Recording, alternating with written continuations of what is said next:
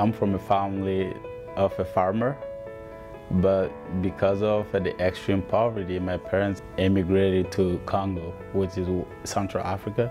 So I was left with my grandma when I was two year old. My grandma, despite all the struggles, she would make sure I have the light. I had a lamp and you study on the lamp in the night. And everybody else has to stop what they're doing for you to study because if somebody need to go to the bathroom, they're gonna need that lamp. My name is Cadet Souare. I joined Arizona National Guard for, I would say, three big reasons. First, it was a path to citizenship. And second, also was a job opportunity and also a community service opportunity. I volunteer at Arizona Burn Center, but also Paradise Valley Nutrition. So, and I study for my board.